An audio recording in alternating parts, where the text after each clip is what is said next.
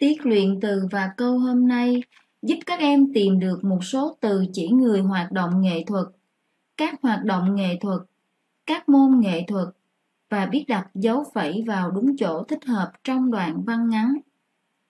Các em hãy chuẩn bị sách giáo khoa tiếng Việt, bút thước để chúng ta bắt đầu bài học. Cô mời các em mở sách trang 53. Các em cùng cô đọc yêu cầu bài 1. 1. Em hãy tìm và ghi vào vở những từ ngữ A. Chỉ những người hoạt động nghệ thuật Mẫu, diễn viên B. Chỉ các hoạt động nghệ thuật Mẫu, đóng phim C. Chỉ các môn nghệ thuật Mẫu, điện ảnh Các em hãy đọc lại yêu cầu bài 1 và chú ý các từ khóa. Trong câu A, từ người trong câu B, từ hoạt động. Trong câu C, từ môn. Để làm được bài 1, các em hãy kẻ bảng vào vở giống như trên màn hình.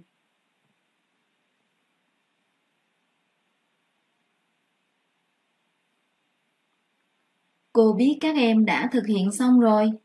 Bây giờ các em hãy suy nghĩ và ghi nhanh những từ ngữ chỉ những người hoạt động nghệ thuật chỉ các hoạt động nghệ thuật, chỉ các môn nghệ thuật vào bảng nhé.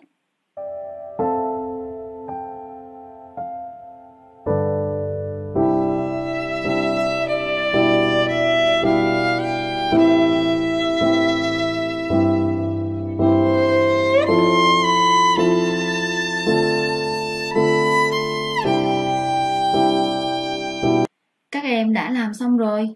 Bây giờ các em hãy nhìn lên màn hình đối chiếu kết quả với cô. A.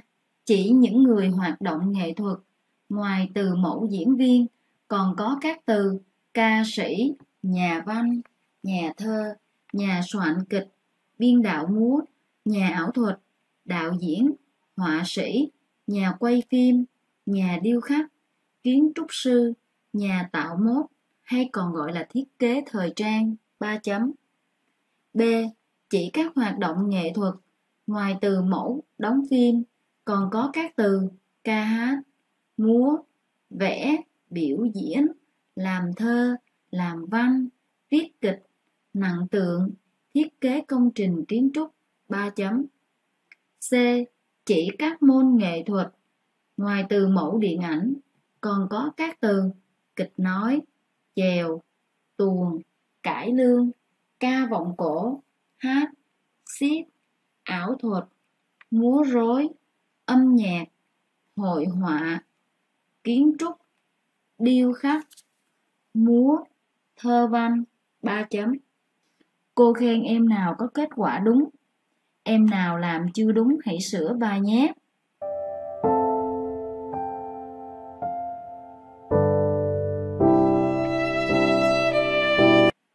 Cô mời các em theo dõi một số hình ảnh về những người làm nghệ thuật và hoạt động của họ.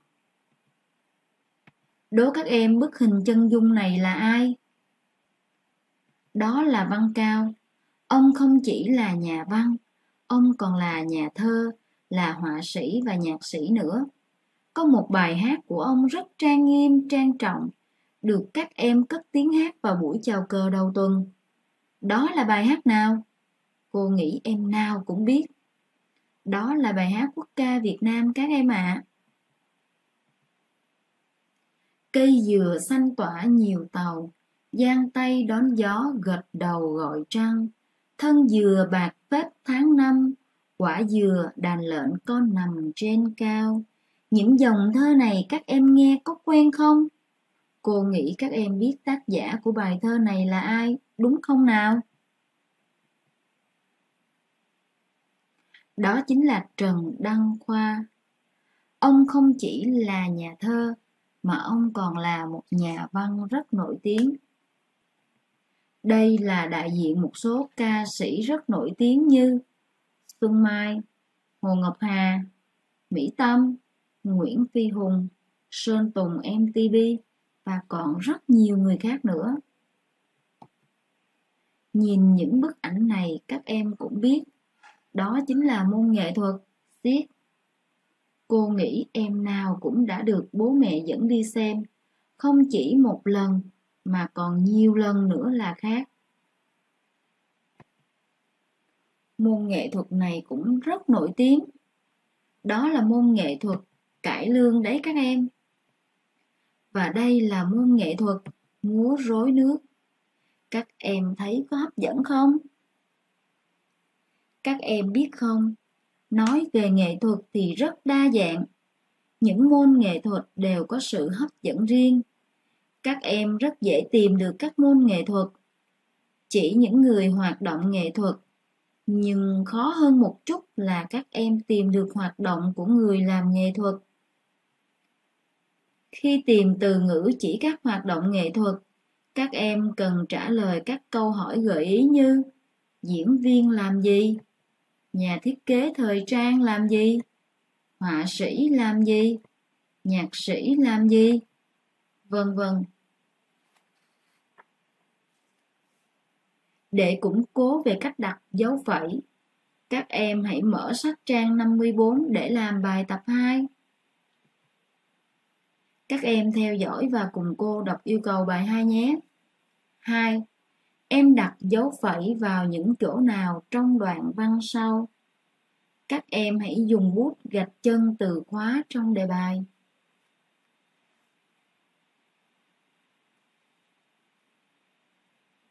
Từ khóa trong đề bài này chính là từ dấu phẩy. Các em theo dõi và cùng cô đọc đoạn văn bài 2. Mỗi bản nhạc, mỗi bức tranh, mỗi câu chuyện, mỗi vở kịch, mỗi cuốn phim đều là một tác phẩm nghệ thuật. Người tạo nên tác phẩm nghệ thuật là các nhạc sĩ, họa sĩ, nhà văn, nghệ sĩ, sân khấu hay đạo diễn – Họ đang lao động miệt mài say mê để đem lại cho chúng ta những giờ giải trí tuyệt vời giúp chúng ta nâng cao hiểu biết và góp phần làm cho cuộc sống mỗi ngày một tốt đẹp hơn. Các em hãy đọc lại đoạn văn của bài 2.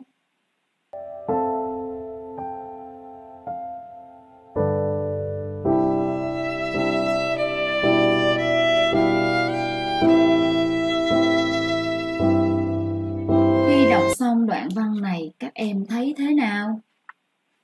Với cô thì đọc đoạn văn này cô thấy hụt hơi. Vì người viết đoạn văn này quên đặt dấu phẩy, làm cho người đọc thấy mệt và khó hiểu phải không các em?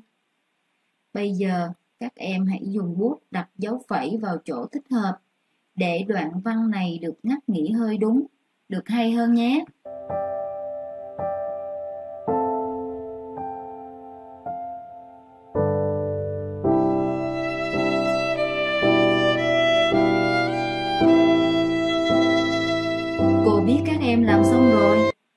Cùng đối chiếu kết quả trên màn hình. Mỗi bản nhạc, phẩy, mỗi bức tranh, phẩy, mỗi câu chuyện, phẩy, mỗi vở kịch, phẩy, mỗi cuốn phim đều là một tác phẩm nghệ thuật. Người tạo nên tác phẩm nghệ thuật là các nhạc sĩ, phẩy, họa sĩ, phẩy, nhà văn, phẩy nghệ sĩ sân khấu hay đạo diễn? Họ đang lao động miệt mài. Vậy, say mê để đem lại cho chúng ta những giờ giải trí tuyệt vời. Vậy, giúp ta nâng cao hiểu biết và góp phần làm cho cuộc sống mỗi ngày một tốt đẹp hơn. Cô khen em nào có kết quả giống với kết quả của cô? Những em đặt dấu phẩy chưa đúng thì hãy sửa lại nhé các em hãy đọc lại đoạn văn lần nữa và suy nghĩ xem nội dung đoạn văn nói lên điều gì.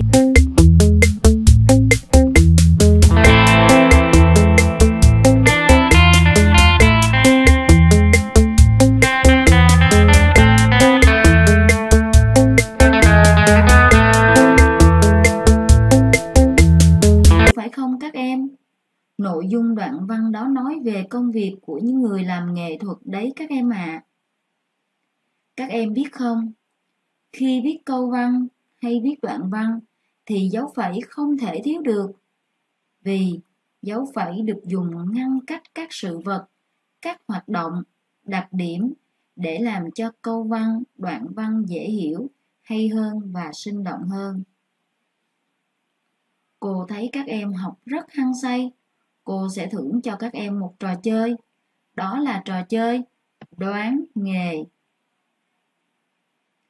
Trên màn hình của cô lần lượt xuất hiện một số hình ảnh. Các em hãy xem và đoán. Những người trong ảnh họ làm môn nghệ thuật gì?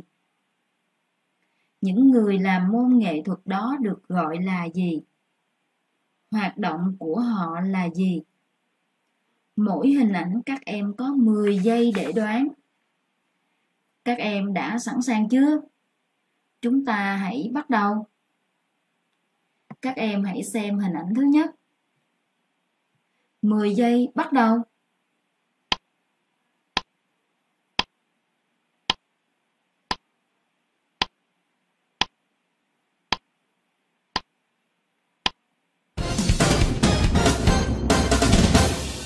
Thời gian đã hết. Các em xem thử mình đoán có chính xác không nhé. Đây là môn nghệ thuật điện ảnh. Người hoạt động môn này được gọi là diễn viên. Hoạt động của họ là diễn xuất, đóng phim. Cô dành lời khen cho những bạn đoán đúng. Các em hãy xem hai bức ảnh này. 10 giây, bắt đầu.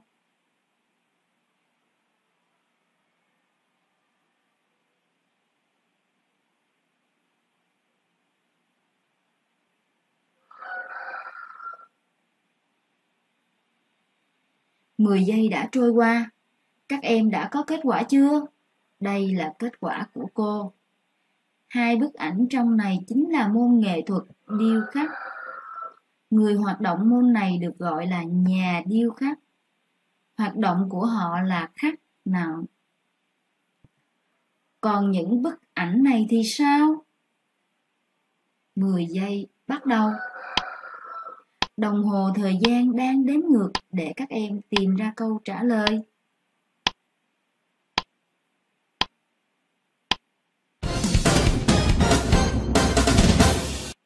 Và hết giờ.